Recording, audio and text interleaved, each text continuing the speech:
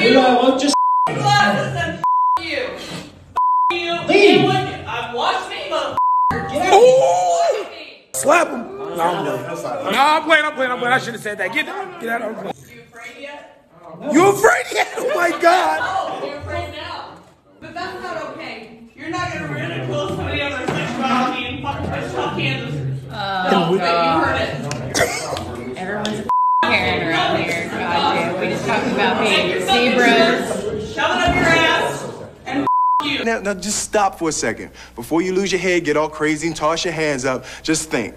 The person that uses their head can always defeat the person that's just trying to use their hands. Now remember that, because the more you know. The Academy is now starting a formal review of what happened with potential consequences for Will Smith. The person that uses their head can always defeat the person that's just trying to use their hands. Will Smith's slap across Chris Rock's face at the Oscars on stage on Sunday has been met with some strong opinions and a divided response. And the reason they didn't go and take him out is because that would have been another 15, 20 minute explanation of why we're taking the black man out uh, five seconds before they're about to decide whether he's won an Oscar or not. Before you lose your head, get all crazy and toss your hands up, just think. Why is it always the people who punch you in the face who tell you to stop hitting them? Kind of weird. It was a, a rare instance where someone is so enormously famous and successful like Will Smith that they literally still allowed him to not just win the Academy Award, but also go up and accept it and give a speech after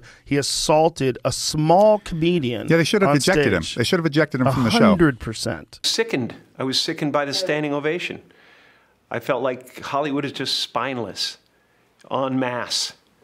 And uh, it just, it really felt like, oh, this is a really clear indication that uh, we're not the cool club anymore. A few minutes after slapping the host on stage, the guy who slapped him got a ward. He was not expelled, of course. You can't just go smack a man in the face in front of the world and then go about business as usual. If you want to yell from the audience and disapprove or sh- show a disapproval or say something on Twitter or whatever, you, you know, you do not have the right to, to walk up on stage and smack somebody in the face because they said words.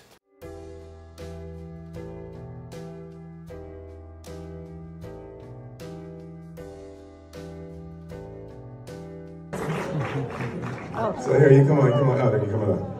All right. All right, so here, so I'm gonna do something. So basically what I'm gonna do is I'm gonna do that, right? And you just turn your head when I go. All right, and don't fall down the steps. Where is, I'll just go. There you go. And then you just put it in the scene. And you, so I, I need you to say, man, where's my money? Man, where's my money? Right.